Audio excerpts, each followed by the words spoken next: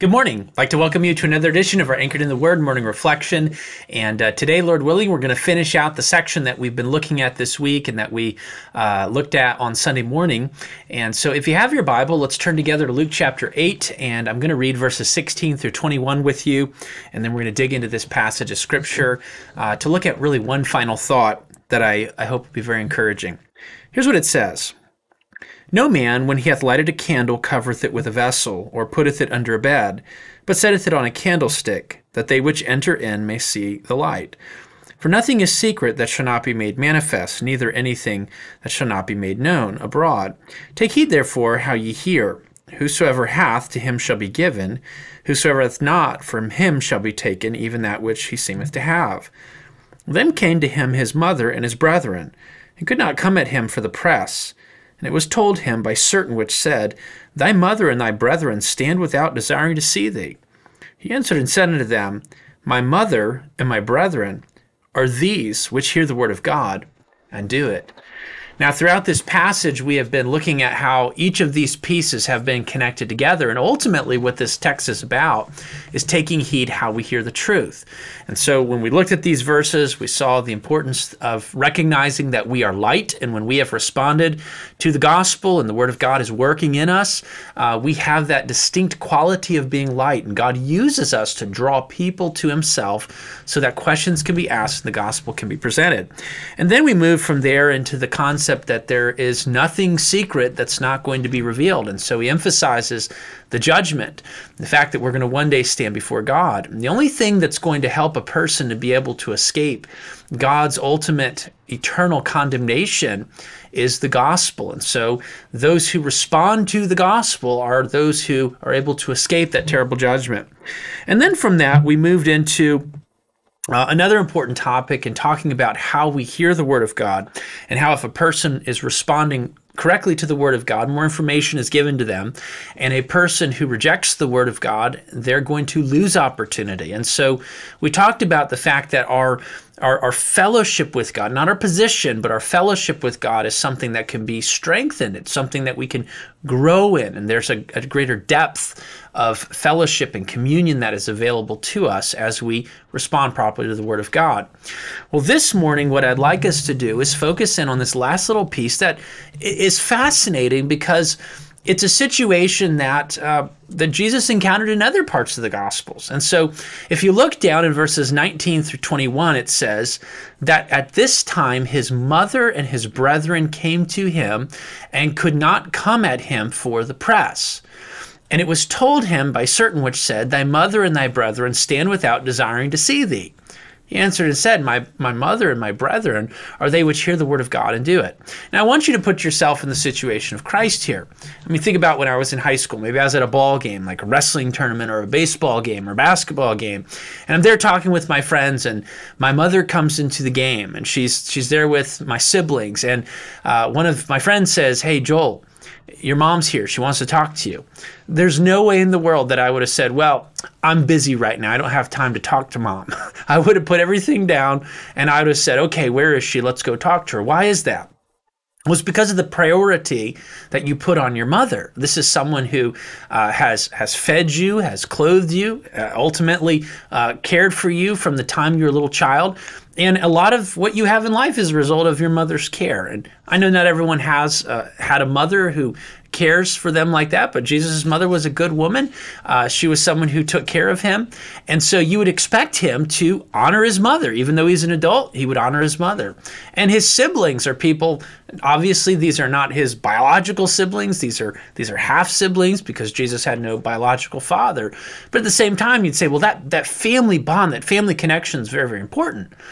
So the, the pauses us uh, causes us to pause and ask this question: Was was Jesus being disrespectful to his mother? Was he saying he didn't value her? He didn't value his uh, his his mother's children? And the answer is that's really not what Jesus is doing he's he's looking at a very particular scenario where he's showing his priorities and this gets into a very important topic that I think is a part of when people respond to the word correctly what they begin to prioritize in their lives.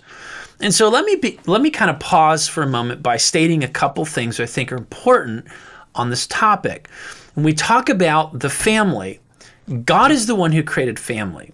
God is the one who instituted marriage. God's the one who created male and female. And God's the one who, who commands us to leave father and mother, cleave to our wife. We become one flesh, and that's a bond that's not supposed to be separated by anything but death. Okay? That's God's plan. And God's plan is good and it is for our good. And if a society is going to be strong, then marriage has to be honored and I'll even go on beyond go go beyond to say this. In a family where people honor God and they embrace the truth, the potential for unity and the sweetness of that family is strengthened, it's heightened because those people are prioritizing God first. And because they prioritize God first as a group, what ends up happening as a byproduct is that their bonds with one another are strengthened. So it is through their walk with God that their marriage is strengthened, their relationship with their siblings is strengthened, the relationship between parent and child and child and parent are strengthened. And so that's the ideal scenario. That's what a godly home looks like. But that's not how every single family operates in a fallen world, there are some families where a person becomes a Christian at, after they've been married. And so they're now married to an unbeliever, and they were an unbeliever before, and now uh, they have a very complicated situation. Or uh, maybe they get mar- they get saved later in life, and uh, their children are already past those formative years, and they've, they've already grown. They, they even have their own children. And so what happens is that when a person becomes a Christian later in life, that means that they're going to have some potential conflicts or potential challenges that are a result of that, especially if when that person becomes a Christian, their family members become antagonistic to the gospel. In other words, a child might become antagonistic towards their parents, or a spouse might become antagonistic towards their spouse, or whatever the scenario. These are things that can potentially happen in a fallen world. And so the question that we need to ask ourselves is in a scenario where a person now has this conflict of interest and this conflict of allegiance, where are they supposed to put the priority? Are they supposed to put the priority on their husband or their wife or their parent or their child or on God Himself?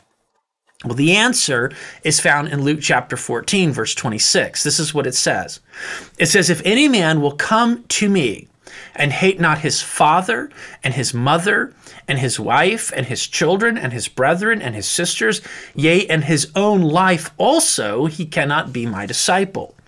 Now, Jesus is not suggesting that we're supposed to have animosity towards family members, or that we're not supposed to take care of our body, or that it's okay to harbor bitterness and resentment, or it's okay for a child to be disobedient and disrespectful to their parent. That is not what Jesus is suggesting. He has a very narrow focus in this particular passage. He's talking about matters of allegiance. And so if you have a scenario where a family member says, it's either me or it's your Christian faith, guess what? You have a responsibility, an obligation to put God first. It's not that you're trying to isolate yourself from family. Absolutely not. You want to live out uh, the power of the gospel in front of your family. You want them to see the distinction and the difference. And by the way, in the New Testament, in the in the epistles, there are several examples of the Apostle Paul answering questions. Well, what happens when you have a person who uh, becomes a Christian after they've been a you know a married or family situation, whatever the situation is? And he says, be content to live within the context that you're given but recognize that sometimes there can be an allegiance conflict. And in that situation, God is supreme. He's number one. So I could put it like this We are to love our spouse, we're to honor our parents, we're to nurture our children. And what we do is we love God first, and it is by loving God first that we can love our spouse properly. It's by loving God first that we can honor our parents properly, by loving God first, that we're able to nurture our children appropriately. And so God takes the priority. He is number one in our lives as Christians. And so that's really an important principle for us to consider because it actually has a little bit of bearing on what's going on here. Ultimately, what's happening is Jesus is ministering to people. He's preaching the word, he's teaching the word, he's answering their questions. They're pressing on close to him because they're interested in what he's saying. They want to know the truth. And there's his mother and there's his brethren. And they're saying, Hey, Jesus, you're neglecting us. We need to talk to you, we need to see you. And what Jesus is ultimately saying is not that I don't love my mother and not that I don't honor my mother and not that my brethren are unimportant to me, but when it comes to priority, my priority is not mom, it's God. It's not my siblings, it's God.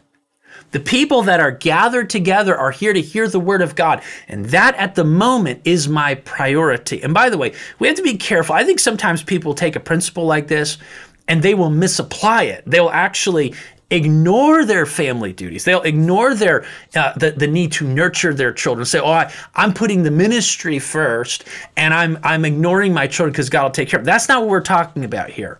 Your your ministry is your wife and your children in a Christian home, okay? Even before the church and those other things. But we're talking about a misplaced allegiance, a conflict between those issues. Jesus says, "My priority is the work that God's given me to do. But then that leads us to another principle that's extremely important. And that is that when a person becomes a Christian, God places them into this body that is an additional family.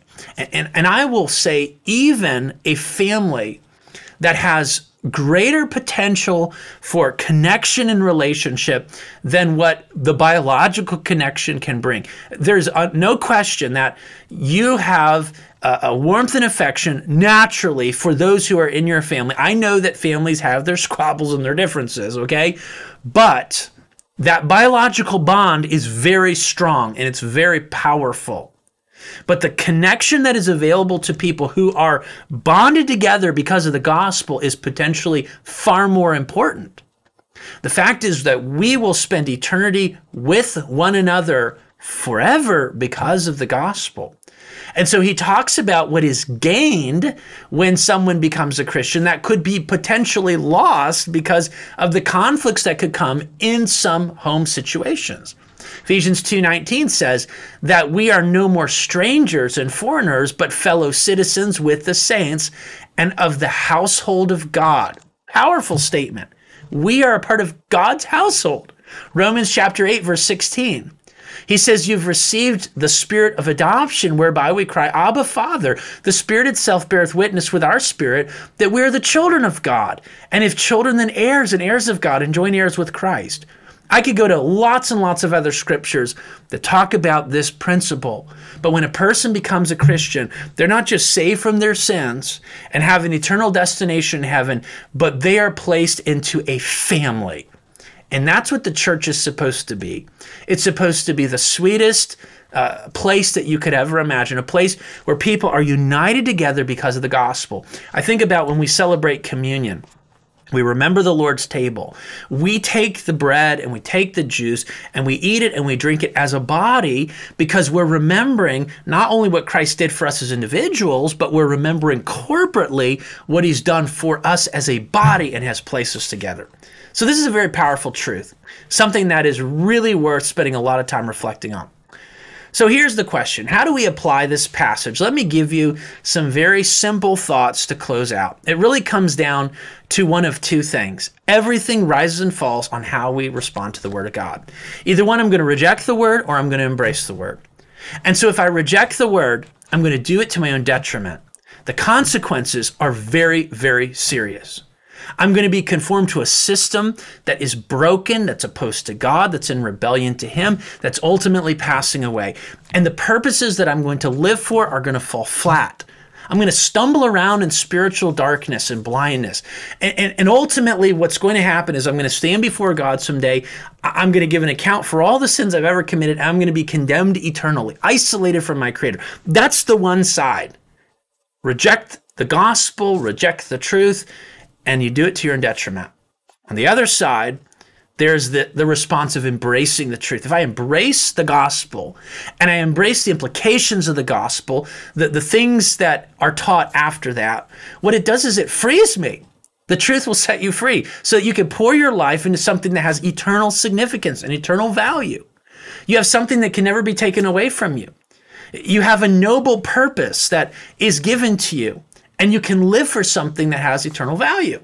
You can live in a way that's consistent with the design that God has for you as a person. A distinctive walk that points people to the truth, freedom from fear of eternal condemnation, an intimate walk with God that just grows progressively as we mature in the faith, an everlasting family. And so the question is which one do you want? do you want the first or the second? It all rises and falls on what you do at Scripture.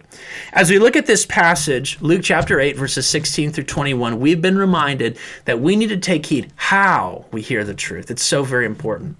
I hope that this will be an encouragement to you as you uh, get ready to close out the week. Lord willing, tomorrow uh, we are going to do one more episode, not in Luke chapter 8, but it's going to uh, be dealing with what we talk about on Wednesday. And so uh, if you could, uh, I hope that you'll, you'll check out that bonus episode, which uh, will be very practical and very, very helpful. Have a great rest of your day, and Lord willing, uh, we will meet you tomorrow morning. Bye now.